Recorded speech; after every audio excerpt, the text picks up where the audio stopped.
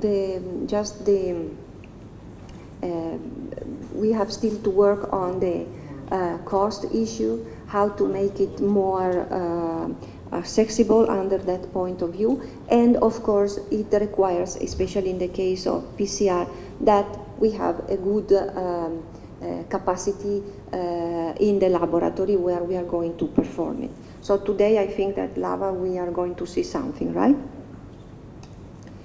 And regarding the disease management of uh, MLN, just to conclude about this, um, the, the situation, as I started to mention, is pretty complicated by the presence of vectors, many hosts, two viruses, um, all the management that uh, the farmers and the, and the seed industries has to do for multiplying seed, etc. Last week, where um, this paper was published, um, and I found this excellent picture. It is very uh, uh, self-explanatory of what really the management of this disease means, where we have so many, um, so many components, all of them together, uh, that, um, that we need to take care of for controlling the pathogen in the field, the disease in the field and my colleagues later will, uh, will discuss this. But just to show you that um, we need to be we need to be quite aware of the complicated issue we are facing and hopefully uh, that we can put in place measures that we can put in place place are taken for controlling the spread of a pathogen. Uh, thank you very much for your attention. Um, uh, any questions, I'm glad to, to answer.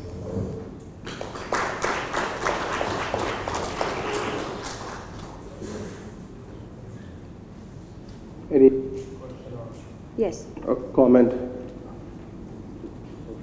Yes, please. Sorry, I would like to know the agar. You didn't mention the agar we use during the agar we use, whether PDA, nutrient agar. You just said the selective agar. What agar we going to use?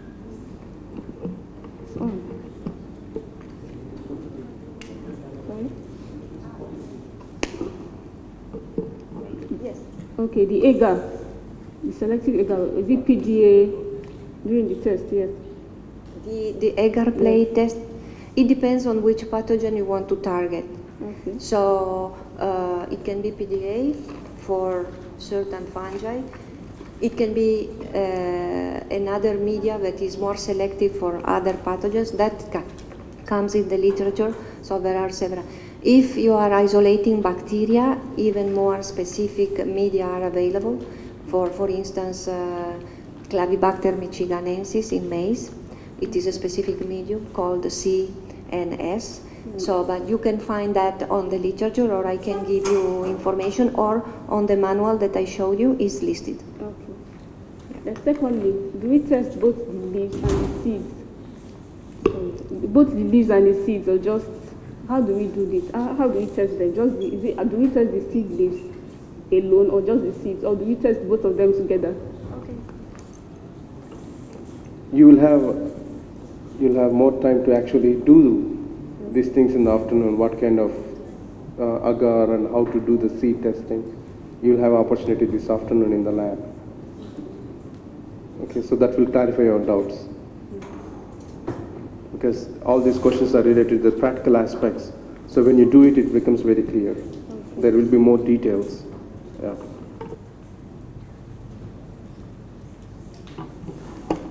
Can I speak?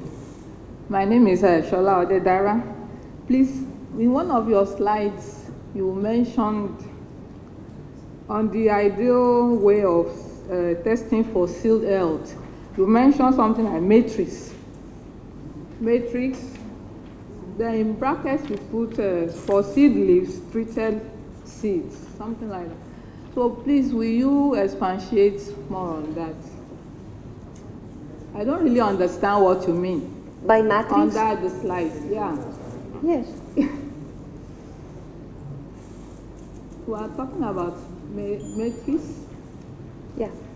Under ideal. Well, it's a technical- The ideal field health test, yeah? I think it's there. The number two, yeah. This one.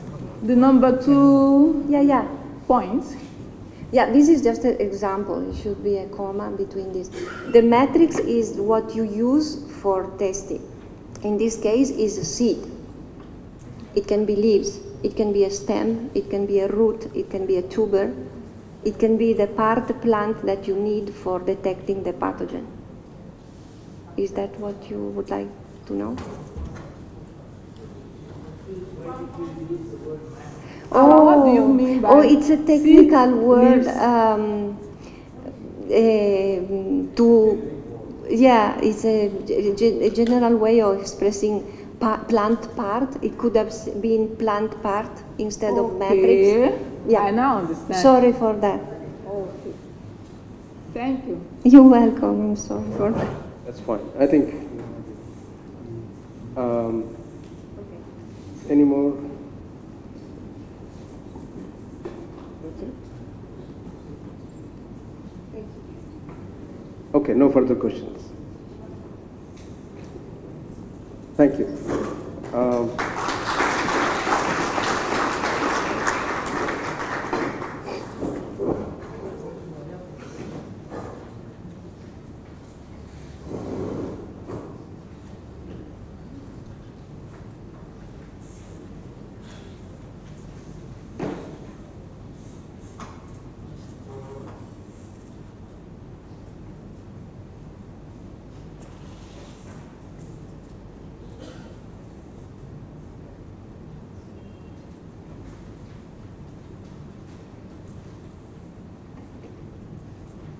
Yeah,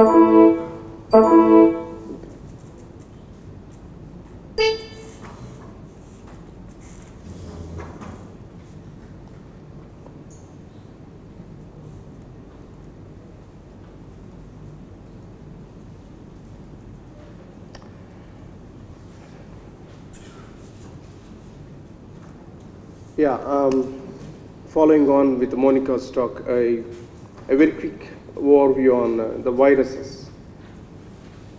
Monica has very detailedly presented a the various list of pathogens, important viruses that are affecting maize and the ways we can detect it, and some of the sensitive issues that we need to take in, uh, into consideration while testing the, the seed for pathogens, especially for uh, distribution or for cultivation in the fields. So this talk is aligned to the same subject, but just gives an idea about what are the important viruses that are present in, uh, that are affecting maize and, and how we detect them. And since we have a short time, it is just a, a quick overview. Practical aspects of how we do diagnostics is going to be dealt in the afternoon. So if you have any specific questions on the method, we can discuss in the afternoon. If there is something regarding the, the virus per se or disease things, we can definitely discuss here.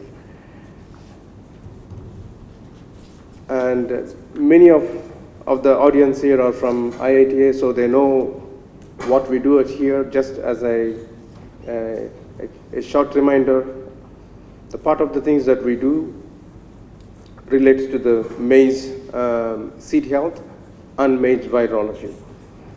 Um, we facilitate as part of the germplasm health. We act as an internal uh, quality monitoring, especially for seed health, and we work very closely with the quarantine agency when it comes to the international distribution. We established all the methods that are necessary for seed health testing for all our mandate crops, and uh, these details can be found on our uh, webpage that is listed here.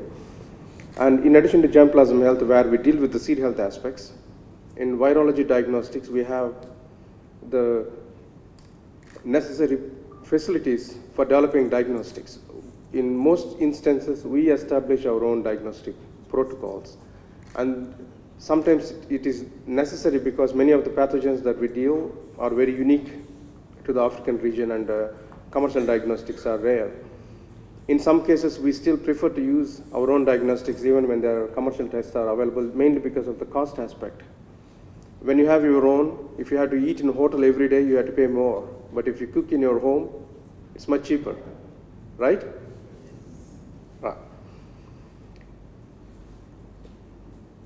I see a lot of students here, when we, when we keep talking about pathogens, pathogens, maybe it is good to tell them what are we dealing when we say pathogens. Just one slide.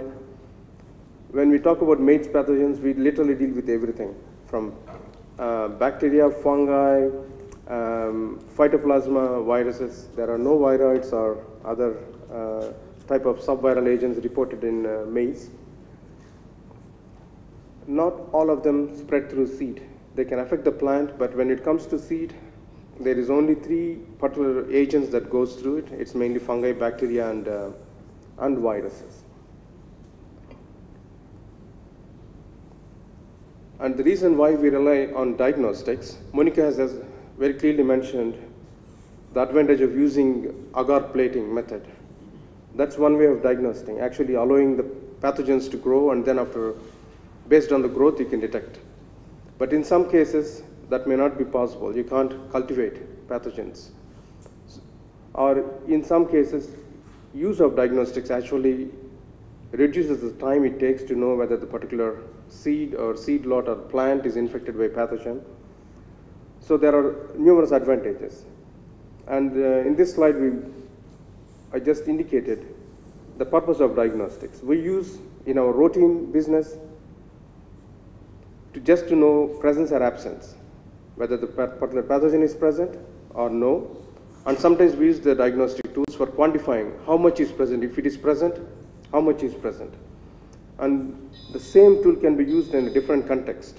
Under research context, the, the way you use the diagnostics can be different. We can use for routinely for quarantine monitoring, which is where the, the established test becomes a very important, and the seed certification, both for domestic as well as for international trade, field surveillance and pest risk assessment. If you are looking for areas to identify where there is no pest free zones, we still use it. And also for baseline studies. If you want to understand what is the threshold of a particular pathogen in its situations, you can use it. And trade. So this is just a, a few, but you can use diagnostics wherever you think there is a need. So it's, they don't have just one particular use. The use depends on the, the user. So we use in our routine ways, we use for pest detection, not only for pathogens, sometimes we use diagnostics for identifying insects, both at larval stage, eggs, and even uh, adults. And also weeds, sometimes to know what kind of weeds are there. Foodborne toxins, although we are not dealing that subject, mycotoxins, we can detect using diagnostics in the seed. And for quality, especially for, for instance, if you are doing uh, exporting material, you need to certify that the seed lots are free from pesticide residues. So that's again, you can use diagnostic tools. There are numerous ways, depending on who you are, how you can use the diagnostics. For instance, researchers basically use the diagnostics mainly in the context of the research question, like I want to know what is present in it. When it comes to quarantine agency or regulators, they basically use the diagnostics to detect the known, known pathogens because they already have the target well determined. When it comes to industry, once again, the industry uses for the known Uh, targets to ascertain that the product that they are producing is free from the pathogen. So the context varies depending on the, the type of stakeholder we are dealing. And this one, this particular workshop, we are mainly targeting the regulators and the seed industry. The advantage in these both cases is you don't have to worry about standardization of diagnostic, development of diagnostics, because that is done already by the researchers as part of the R&D. When it comes to maize, that's a, a kind of background. For maize, in Africa, there are a number of pests and pathogens. There is a striga, which is a weed. Uh, we, we have fungal diseases, insects, and viruses. When it comes to seed health and seed transmission, only we don't have to worry about, about weed. It can be risky if the processing is bad. We don't have to worry about the insects. But the main thing is the seed-borne pathogens like fungi and viruses as informed by Monica. For maize, there are more than 20 different viruses reported. Some of them are very well characterized, some they are just names, we don't have much background. Um, and not all of them are distributed everywhere. Some few viruses are present pretty much globally, and some viruses they are very much restricted to some parts of the world, or some cases just one or few countries. Almost all the viruses that were reported to infect maize are transmitted by insect vectors. Remember, maize is seed; it is it's not a clonal crop. If there is no vector, automatically the virus eliminates by itself. There is no more succession from one generation to another. And this aspect is very, very important um, to understand the disease, uh, how the disease perpetuates in the field. Although there are 20 viruses reported to infect maize, there are only three which are known to be reported to spread through the seed. This is maize dwarf mosaic, maize chlorotic mottle, high plains virus, and it's a kind of unconfirmed study on sugarcane mosaic seed transmission. Only these four, three of them have been confirmed, one suspect. So when we are doing for seed health testing, we don't have to worry about all the 20 viruses. We just only have to focus on four. And for instance, if we had to do seed health testing in Nigeria, which one do we target? Would anybody like to guess? None. Because maize chlorotic mottle is not present here. If you're doing seed production, you don't have to worry about that. High plains virus is not, not known to occur in Africa. And maize dwarf mosaic is recognized in East Africa, but not yet in uh, West Africa. So you need to understand the context. If you impose yourself that we need to test for all the viruses that are known to affect in maize, well, it is good in principle, but then it is going to add a lot of cost to your, unnecessary cost to your monitoring process. Just some pictures. Another complication with all these diseases is that the maize, the symptoms mainly appears on the leaves, and depending on the kind of virus infection, stage of infection, it can also affect the plant growth, height. Otherwise, mostly it causes a kind of mosaic symptoms. They're not always specific to one particular virus. Maize streak causes very classical symptoms, but sugarcane mosaic and maize dwarf mosaic, all this causes symptoms which are indistinguishable from one to other. And this is um, maize yellow stripe virus, which is mainly reported from the northern Africa.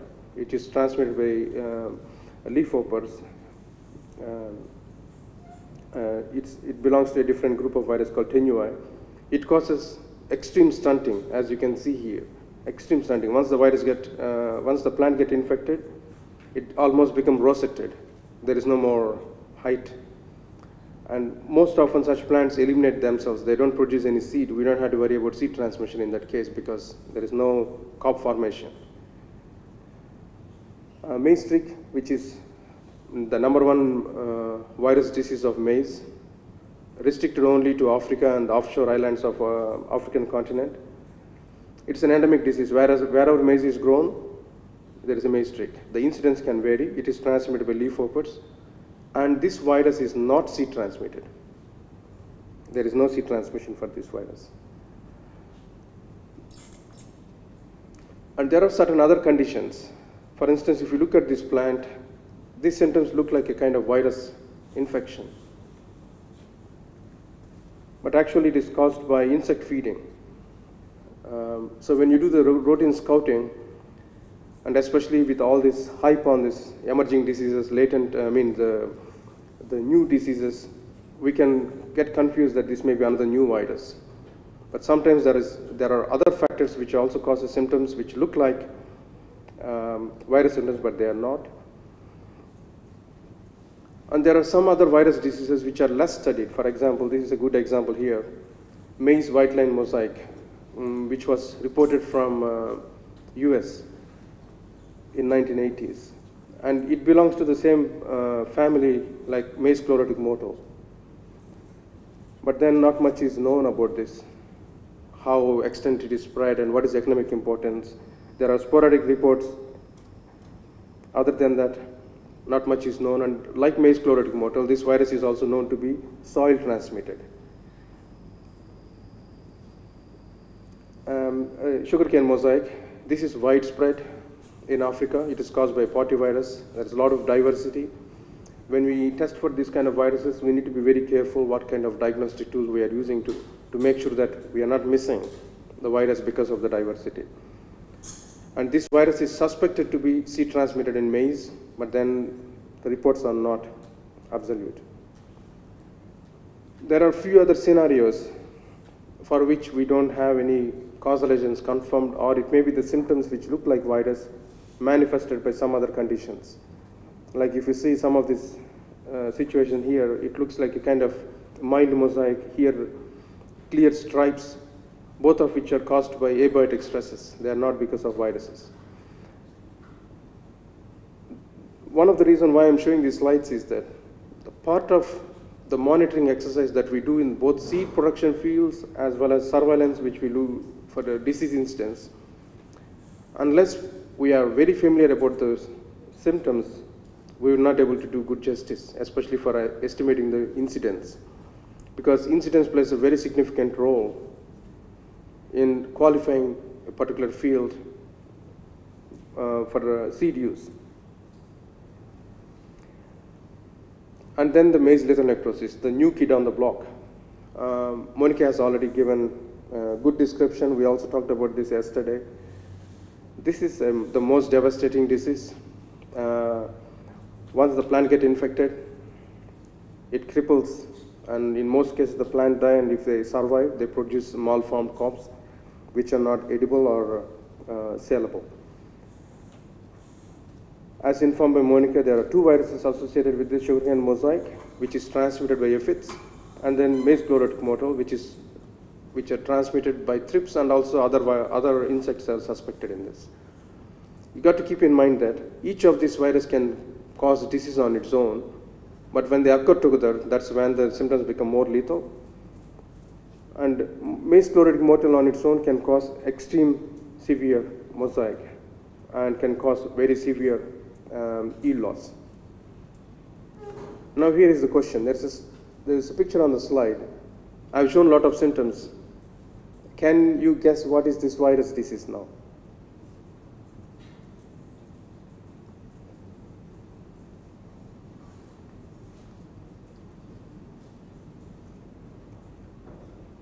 Hmm? It can be anything. It can, it can be any of those which I presented before. Okay, sometimes this is a tricky situation you, you would encounter. You can suspect, okay, this may be this. It can be sugarcane mosaic, it can be maize chlorotic mottle, or it can be both, or it can be altogether different. How do you know? Even for the most familiar person who knows about the symptoms so confidently, can we able to tell that this is so-and-so virus just by looking at the symptoms? And then there is this issue. Yesterday, uh, we were talking about disease incidence and virus incidence. These are totally different aspects. Disease incidence, virus incidence.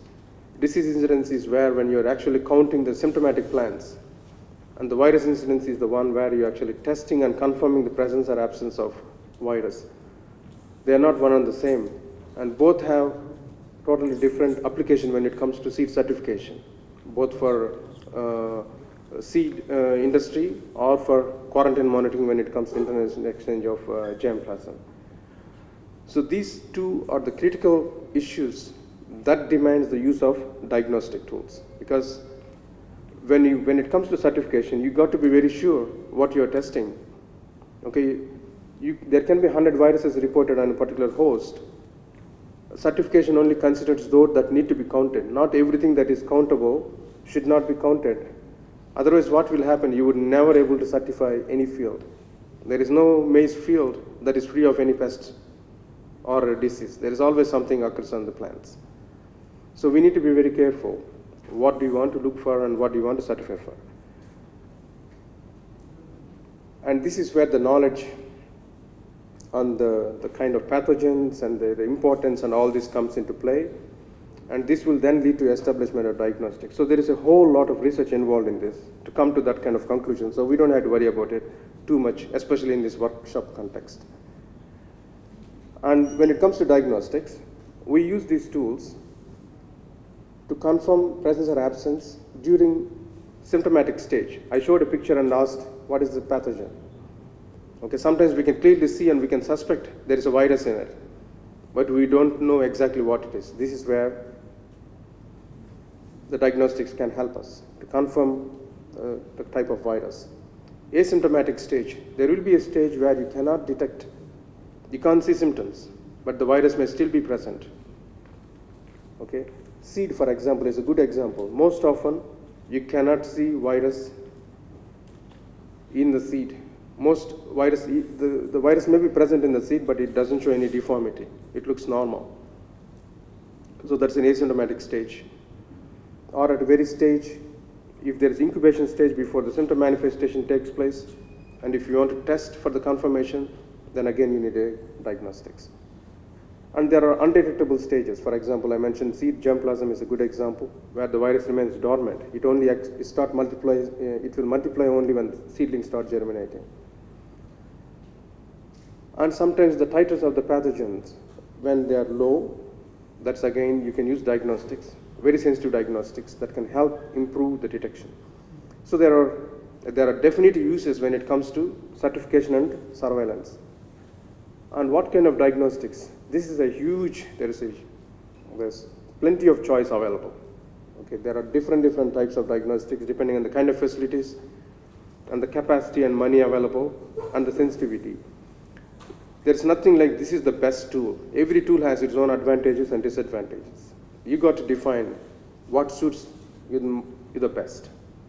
Okay? And the most critical factors that one should keep in mind when we select these diagnostics is sensitivity and specificity. When you use a diagnostic for uh, maize chlorotic mottle, that particular diagnostic should not detect any other virus, otherwise it defeats the purpose. That's what we call specificity. And then the sensitivity, like what is the least amount of detection possible with that? Okay, so uh, the more sensitive the tool, the better it is, so that you can you can increase the sample size for testing and pool the samples and test. Okay, or if even when it cuts in very, very low levels, you can able to detect. So these specificity and sensitivity are the most important aspects when we choose the diagnostic. And then comes the, and the cost and the facilities. Okay, there may be a good diagnostics, but if you don't have right facility, you will not able to adopt it. Then you need to choose something which fits best fits your setup. Or you need to change your setup so that you can adopt the diagnostic. So there are a lot of issues in this. And only the user should be able to make the decision. In some cases, we can, the protocol can enforce what need to be done, but in most cases, it is the, it depends on the user. This is just an example the, about the sensitivity. Technically, there are methods available that can be, that can help detect even a single virus particle, for example, electron microscope. If you happen to be in the right grid, you can see single particle or biological assays, when you do mechanical inoculation, technically it is possible to detect even a single viable virus. So the detection limits vary depending on the type of, of assays you are using. This is just a matrix, just to summarize. How do you choose your diagnostics? The first question you would ask is, are you using diagnostics for detecting a known virus in such situation, the type of diagnostic you are going to use it is a repetitive test like ELISA, the couple examples which Monica said. You are going to use, because you know the target, maize chlorotic mottle, you know who, where the reagent is available, you go and buy it and you start using it. So these are very specific tests when it comes to identifying known viruses. In case, if you are looking for something unknown, when maize chlorotic mottle entered into Africa, we don't know that virus exists in continent. So obviously, we were not looking for maize chlorotic mottle. We are looking initially for the known viruses, and then after a long time, we stepped on to testing for other viruses to see if we, if we can pick something. And we had used some advanced tools there. So this is where we go to the non-specific tools like use of generic primers, uh, genetic, uh, generic antibodies, electron microscope, or most recent next generation sequencing approaches, uh, which is like an assay which can tell both viruses that are present, uh, that are known as well as unknown. So it all depends on the context. But for us, for seed certification and surveillance, they are often target known. Okay, we don't look for unknowns. It's again a contextual, the question changes, you know. And this is just few examples, the kind of assays that we have established here for the, the pathogens that we routinely handle that affect our mandate crops. This, this deals maize, banana, cassava, uh, cowpea, soybean, as well as, um, did I miss something? Yams. For all the viruses, uh, all the viruses that affect these crops that are present in Africa, we already have diagnostic developed here. And we have developed a range of assays, not just one, depending, so that you know, depending on the kind of facilities you have, you can adopt. The, we don't call PCR anymore complex, but uh, those who have visited quarantine uh, station here, you would agree that it's all contextual and subjective. What you, what you call simple for me is, uh, for somebody it is more complicated because it requires still facilities.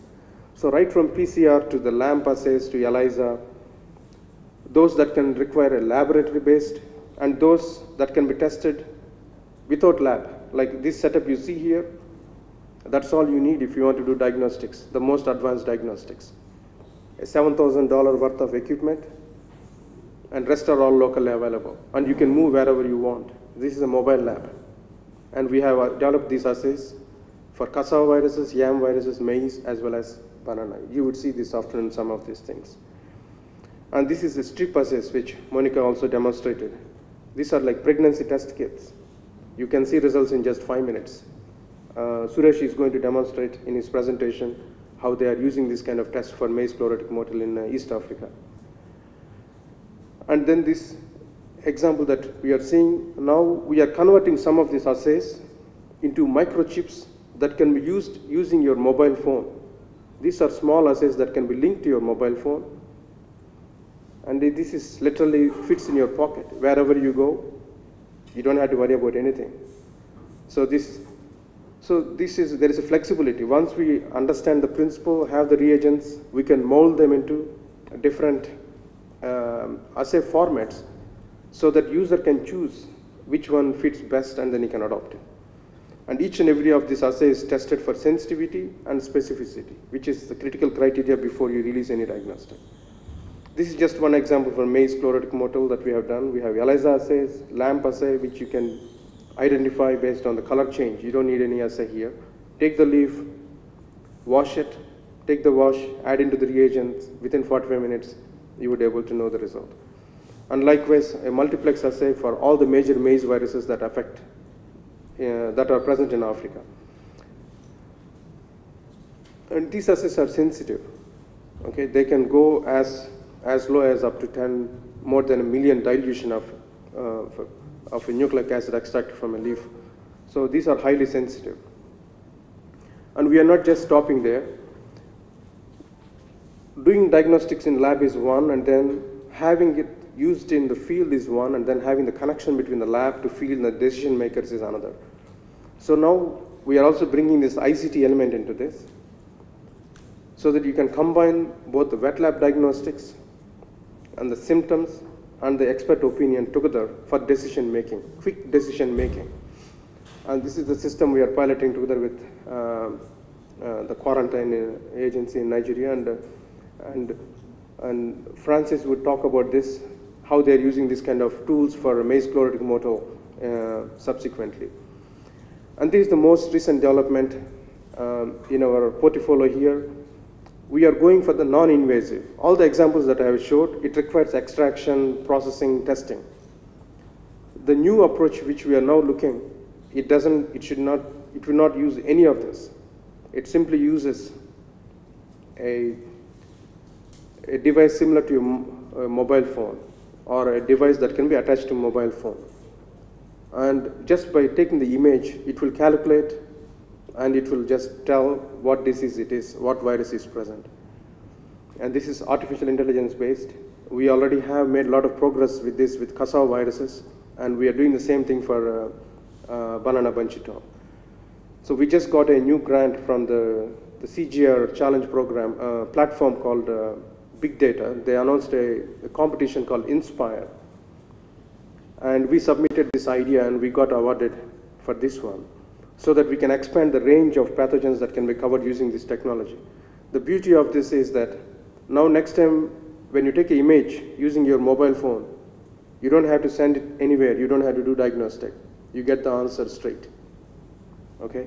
So this is going to nullify many of the things that we are doing, for example, the wet lab diagnostics. They may become redundant in future.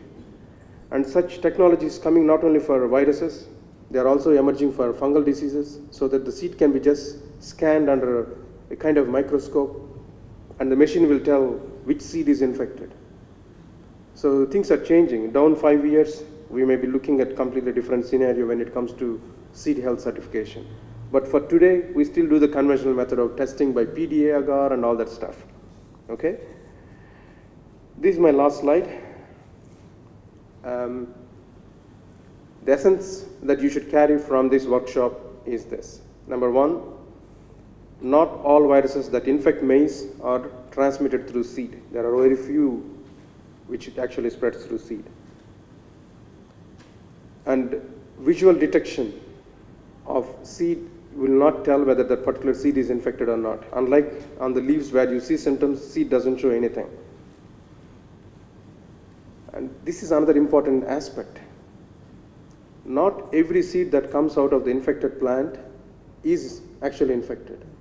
The percentage of transmission varies. Even for the known viruses, for example, maize chlorotic mottle or dwarf mosaic, the transmission, it can be zero under some circumstances too. It can be as high as more than 10%.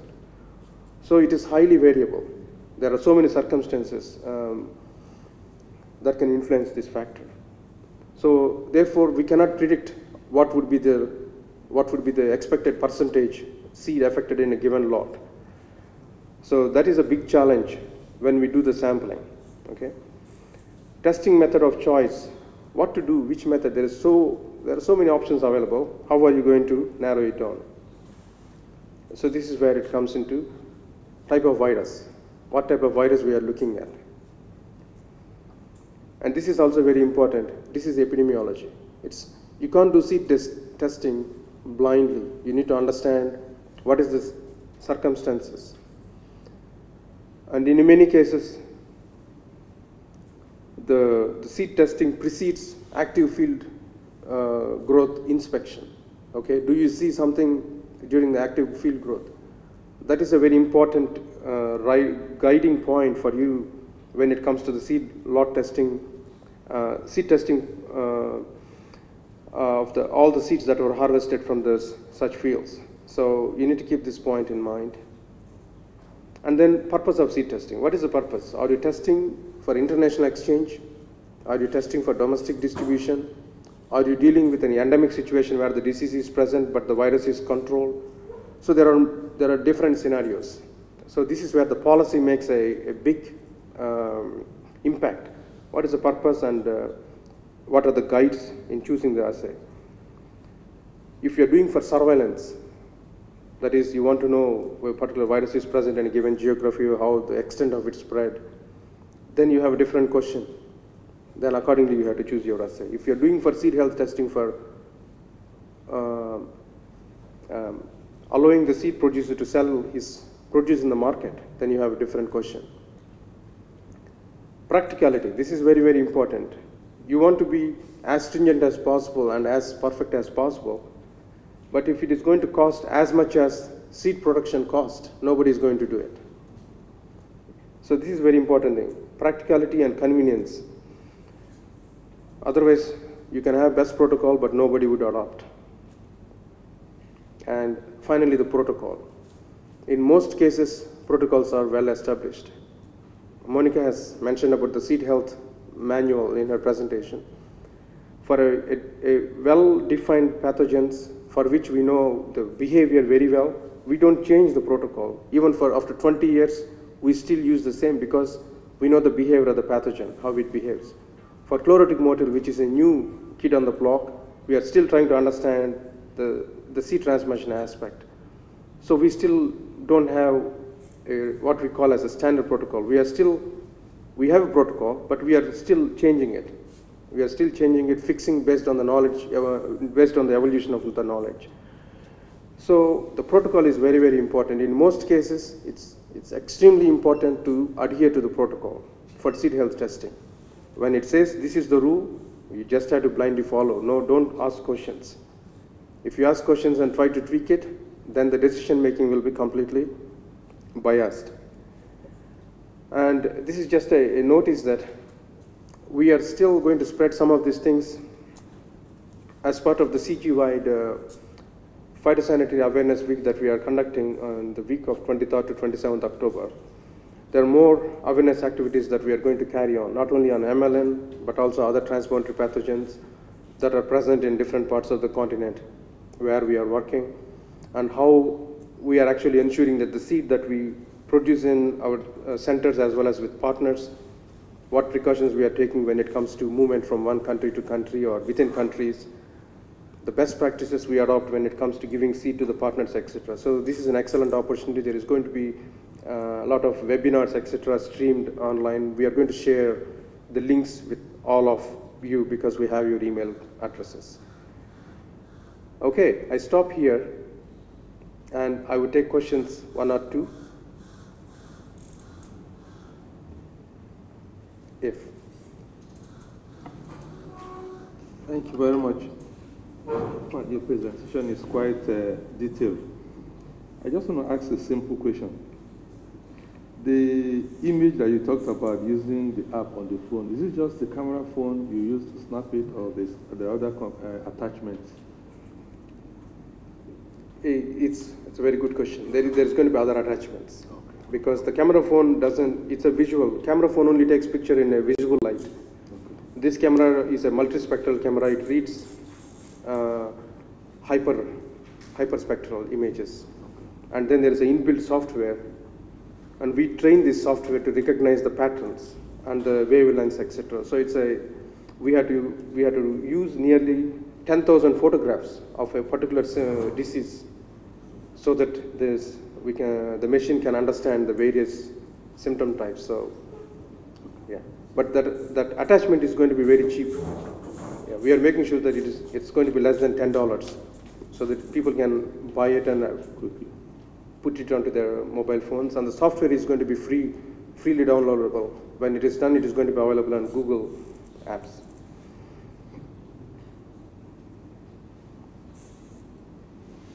Super good. So it's time for break. Um, there is one presentation which is not going to be made, um, is by Abebe, because he already spoke yesterday, so uh, that talk is not going to be there. So we are still on time. So we break for the co- coffee, and then we reconvene at uh, 10:45.